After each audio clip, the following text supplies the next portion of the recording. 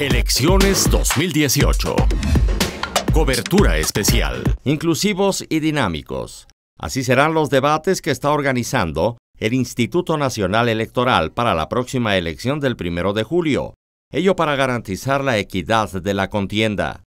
Dichos encuentros son herramientas que utilizarán los candidatos a la presidencia de la República para darse a conocer y tener mayor cobertura en los medios de comunicación. De acuerdo con información del organismo electoral, este año será la primera vez que se realizarán tres debates con un rol activo de moderación e interacción con la ciudadanía.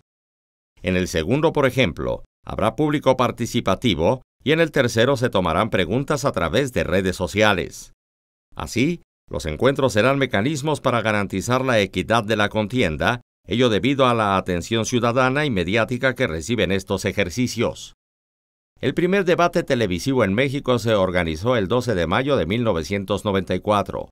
Participaron los candidatos presidenciales de los tres partidos políticos con mayor representatividad nacional, PAN, PRD y PRI, y estuvo coordinado por la Cámara de la Industria de la Radio y Televisión.